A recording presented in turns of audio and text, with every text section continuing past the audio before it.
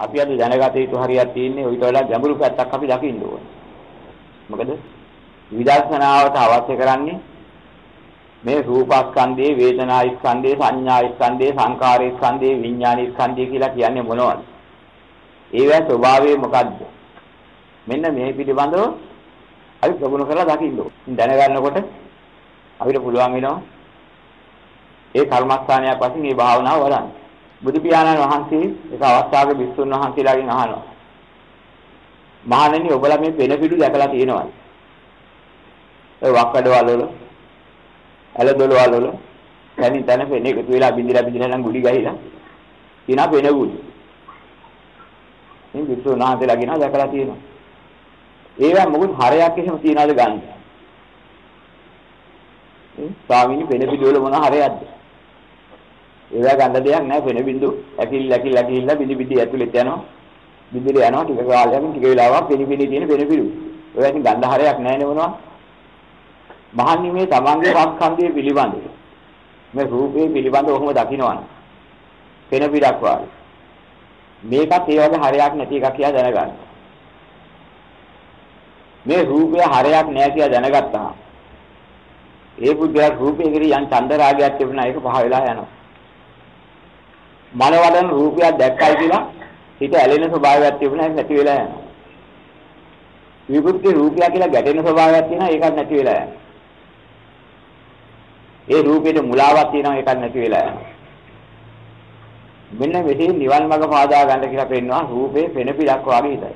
මාන්නේ ඔබලා දැකලා තියෙන මේ වැහි වටින වෙලාවට වතුර වලවල් වල අර බින්දු වැටෙනකොට දිය බුබුලු හැදෙනවා. හැදෙනවා පේනවා මොහොතකින් විදිලා යනවා.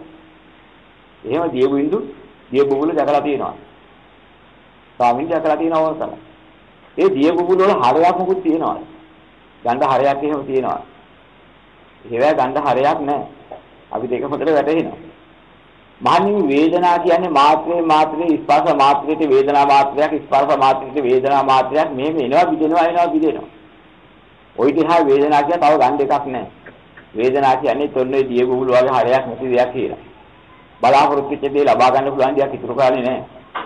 හරයක් නැති එකක් කියලා දැක්ක දාන්න. තේරුම් ගත්ත දාන්න.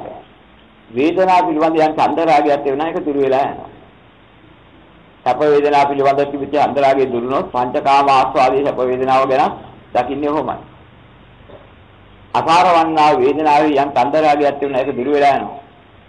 වේදනාව දුර වෙලා ගියා නම් තණ්හා උපාදාන භව ජාති ජරා මරණ ඔක්කොම ඉවරයි. ඔහු අරිහත්ත්වයටපත් වෙනවා. වෙන මාර්ගය.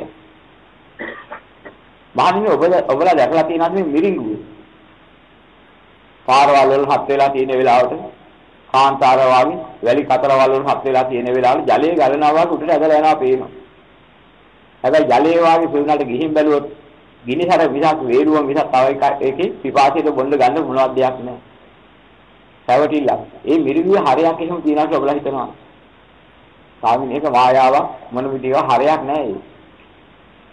ඔය ඔයගොල්ලෝ හිතට ගත්තාම ඔය දැනීම් වලින් ගන්න සංඥා තියෙනවනේ. රූප සංඥා, ශබ්ද සංඥා, ගන්ධ සංඥා මේ ආදි වශයෙන් ගන්න සංඥාව.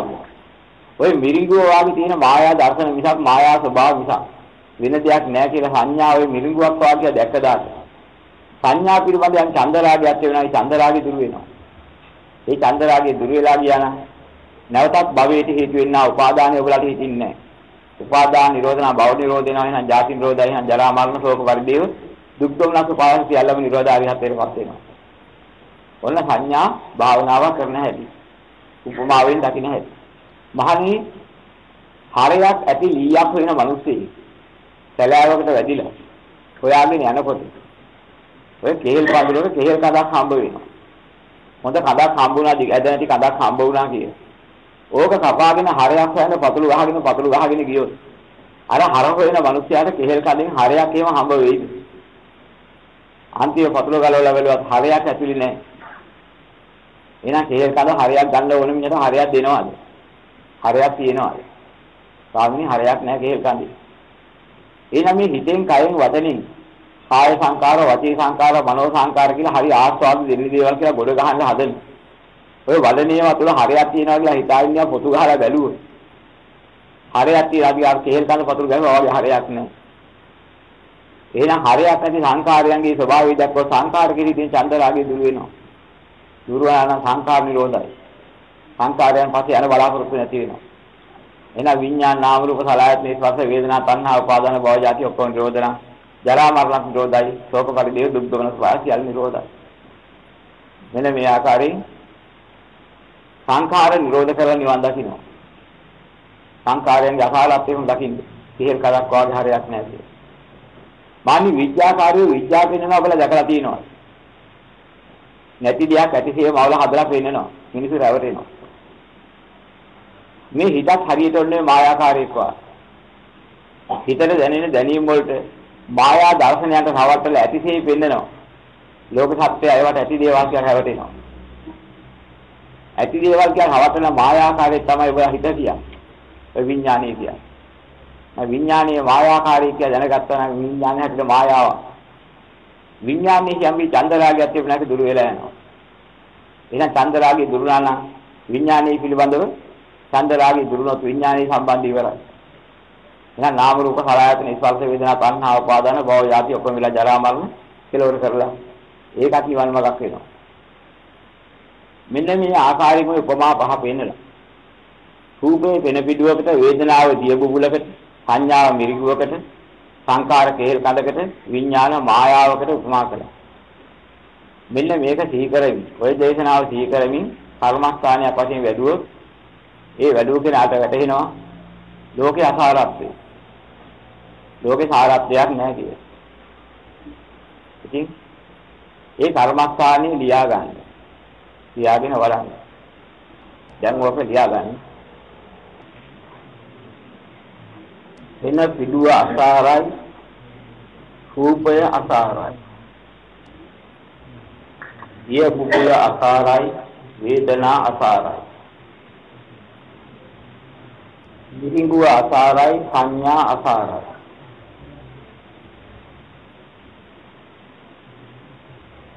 කෙසෙල් කඳ අසාරයි සංකාර අසාරයි.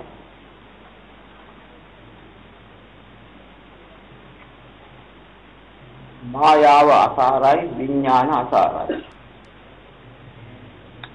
අනත්තං අසාර කට්ටේන ජීවිතී ඔබේ තේරෙන්නේ. ඔය ටික වැටුණා නම් සෝතාපන්න ඵලයටපත් වෙන්න ওই ටිකත් ඇති. වැඩිවල ජී කරනකොට අරිහත්ත්වයටපත් වෙන්න ওই ටික ඉගෙනගෙන නෙමෙයි දකින්නේ. යථාර්ථයේ ප්‍රඥාවෙන් අවබෝධ කරලා නිවන් දකින්න. ස්වාමීන් වහන්සේ මා වාචික විදි කාරණා කියන්නේ ස්වාමීන් මේ කරුණු පහම එකතු කරලා බැලුවත් බිම්බිබියාමක් නේද දුවන්නේ ඈ මේ කරුණු පහම දිහා බැලුවත් එක ආකාරයකින් බැලුවත් ඒක බිම්බිබියාමක් නේද දුවන්නේ ඕකෙන් දකින්නවානේ බිඳි බිඳි යාම විතරක් නෙමෙයි. හැම දෙයක්ම උතන තියෙනවා. මායාවක ස්වභාවය රැවටි. තේල් කාරක ස්වභාවයේ හරයක් නැති බව. සබ්බ සංඛාරයේසු අනිත්‍ය සංඥා කියන එක විග්‍රහ කරලා තියෙන්නේ බොද්ධංග පිළිතුල ඔබ විග්‍රහ වෙලා තියෙන්නේ සබ්බ සංඛාරයේසු අට්ඨියති හරායති විගුච්ඡති. අයං උච්චතානන්ද සබ්බ සංඛාරයේසු අනිත්‍ය සංඥා. දැන් බින්දන කතාව කියනවාද ඒක සංඛාර අනිත්‍ය සංඥාවෙන් බලන්න කිව්වේ අට්ඨියති හරායති jigucchati අයං උච්චතානන්ත සබ්බ සංඛාරේසු අනිත්‍ය සංඥා. එන අනිත්‍ය සංඥාව වැඩි යුත්තේ ස්ථිර නැහැ ස්ථිර නැහැ කියන අදහසින්ද මේ අපි ගන්න සියලුම සංඛාර. ඇට සැකිලිවා. ගන්න හරයක් නැහැ. ඒක විදිහක් හිතන්නේ බක්ලී නැතියට බලුලෙව කන්නේ කුස්සිරුමක් ඵලයක් නොලබන්නේ. නිත්ේ සපතෙහි ලොබ නොසිතන්නේ දොස් නොපෙනෙන මිස දුක්මයි වන්නේ. දැන් ඔක ගැඹුරු දහම් අර්ථයක් එළබසට නගලා ගෝවැඩ සංගරාව කිව්ව කලා කවිය. දැන් මේ අට්ඨියති කියන එක විග්‍රහ කරලා තියෙන තැන. ඇට සැකිල්ලක් වාගේ කියලා පෙන්නපු සංඛාරයන්ගේ ස්වභාවය. අට්ඨියති. කරායති ඒක ගඳ හරයක් නැහැ. ඔය කිසිම දෙයක් දෙයක් නැහැ නේ අන්නේ විගුච්ඡති පිළිකුල් කළ එකක් නෙවෙයි. අපිටෙන් බාරගත එකක් නෙවෙයි. ඒ අර්ථයෙන් තමයි අනිත්‍ය සංඥාව වලන්න කිව්වේ සංඛාර පිළිබඳ. සබ්බ සංඛාරේසු අනිච්ච සංඥා. සබ්බේ සංඛාරා අනිච්චාති යදා පඤ්ඤාය පස්සති අප නිබ්බින්දති දුක්ඛේ ඒ සමග්ගෝ විසුද්ධියා කියලා නිවන් වගේ පැහැදිලිව පෙන්වන්නේ ওই ටික දැක්කොත්. සබ්බ සංඛාරේසු අනිච්ච සංඥා වර්ණ ක්‍රමේ වඩන් දෙන්නේ. කැමැතිසේ නෑ කියන එක ගත්තොත්. ඇට සැසිලක් වාගේ හරයක් නැතිලාට කැමතිත් නෑ. ඒ වගේම පිළිගුල් වෙනාට කැමතිත් නෑ. එතකොට අට්ඨියති විමුක්තති ආදි වශයෙන් දෙන්නේ ඒකයි. මේ අසාරත්වයෙන් යුක්තයි. ඒකේ දැක්කම චන්දරාගය තිබුණාද දුර වෙලා යනවා. අවශ්‍ය කරන්නේ චන්දරාගය දුරු කරගන්න. මේ ඇලෙන වැදෙන යම්කිසි හොඳයි කියලා ඇලෙන බැදෙන මානසිකත්වයට ඒකෙන් නිදහස් කර ගැනීමයි නිවන. එතකොට සිද්ධ වෙන රාගක්ෂය වෙනවා, දේශක්ෂය වෙනවා, බඳුණු මොහක්ෂය වෙනවා. රාගක්ෂය නිබ්බාන, දේශක්ෂය නිබ්බාන, මොහක්ෂය නිබ්බාන කියන එකටපත් වෙනවා. මනස තීක්ෂණයි. හැබැයි ගන්ධහරයක් නැති බව දන්නවා තීක්ෂණ උනත් ඒකෙත් ගන්ධහරයක් නෑ. හැබැයි බුද්ධිලා ජීවත් වෙලා ඉන්නකම් අවසාන වෙනකම් තීක්ෂණව වැඩ කරන්න පුළුවන් මන්ද බුද්ධිකයෙක් වගේ අමතක වෙච්ච කෙනෙක් වෙන්නේ නෑ. ඒ විදිහට වැඩ කරනකොට හොඳට තීක්ෂණව පහසුවෙන් සුඛ විහරණය කරගෙන යන්න පුළුවන්. ධර්ම අවබෝධයේ දෙන මාර්ගයෙන් පිට වෙන එන ක්‍රම අනුගමනය කළොත් අපිට විකෘති ප්‍රතිඵලයක්ම හම්බ වෙනවා මිසක් ඒකෙන් යහපතක් වෙන්නේ නැහැ. ඒකමයි දකින්න ඕනේ. මොහොතපාසා විදි විදි යන එක බලන්න කියනමයි අද මේ ගැඹුරු දහම් ගැඹුරු භාවනාවල කියලා උගන්වන්නේ. ඔතනින්ද බැලීම සීමාවයි. සෙන බංගුරත්යෙන් කියලා කිව්වොත් එහෙම ලොකු අමාරුවක් වෙනවා. සෙන බංගුරත්යෙන් දකිද්ද ලෝතුරා බුදු වෙන්න ඕන. අනික කෙනෙකුට සෙන බංගුරත්යෙන් දකින්න මානසිකත්වයක් නැහැ ලෝක විසි අචින්තයයි. සෙන බංගුරත්යෙන් කියන අචින්ත ලෝක විසි රූප කලාපයේ තියෙන විදි විදි යන ඊටාම පිළු අවස්ථාව. සර්වඥ ගෝචර. ඒක ඉතින් අපිට පේන මේ මායාවක් මවාගෙන මම දැක්කා මේ කරුව දිහා බලාගෙනකොට බිලි බිලි යනවා මම ඇඟ දිහා බලාගෙනකොට බිලි බිලි යනවා මට දැනුණා. මේ ආදි වශයෙන් කියලා යන අවබෝධයක් ලැබුණ බව හිතා ගන්න. මොකද සිද්ධ වෙලා තියෙන වෙන දෙයක්.